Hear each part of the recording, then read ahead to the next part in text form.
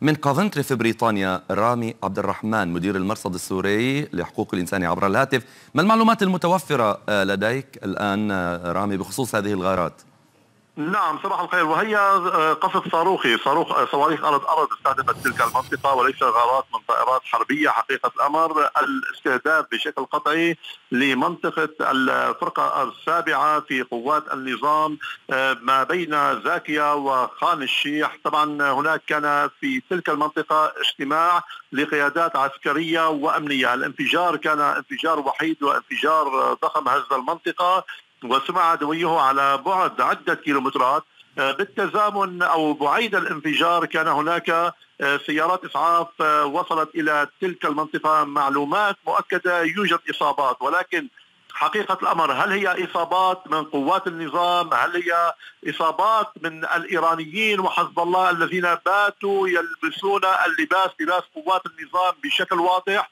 ويعملون داخل القطاعات العسكرية التابعة بين مزدوجين ونكرر بين مزدوجين للجيش العربي السوري وهم لديهم تحركات مثل ما قال زياد. هم في الآونة الأخيرة يعملون على ترسيخ تلك الجبهة من الأراضي السورية على الحدود مع الجولان المحتل تحت مسميات المقاومة السورية لتحرير الجولان. وتحت عباءة الفرقة الرابعة وقوات أخرى من النظام. طبعا الإيرانيين موجودين بالجنوب السوري من القنيطرة حتى بادية السويداء.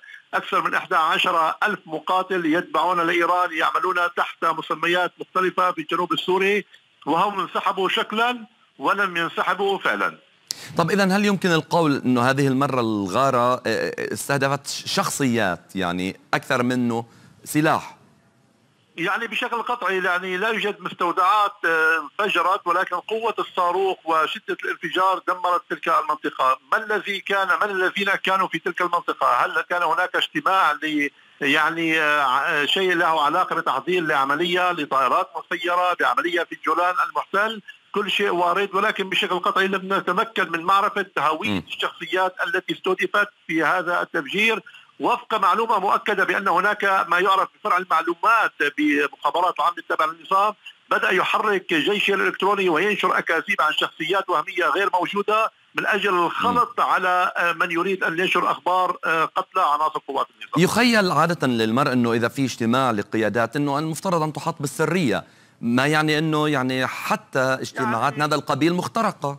يعني سرية أي سرية وكل مستودع صغير وكبير موجود داخل الأراضي السورية معروف لدى الإسرائيليين وعندما قلنا في اللاذقية استهدفوا أربع حاويات بعينها لو لم يكن لديهم عملاء بشكل كبير جدا في كل بقعة من التراب السوري وداخل حزب الله اللبناني لما تمكنوا من هذه الاستهدافات؟ والمضحك أقول لك بأنه عندما استهدفوا القطيفة أحد المقربين من حزب الله الصحفيين قال أن الاستهداف ليس للحزب قلت له لا هذه مستودعات المرصد موجودة ضمن قطاعات عسكرية في تلك المنطقة من الأراضي السورية.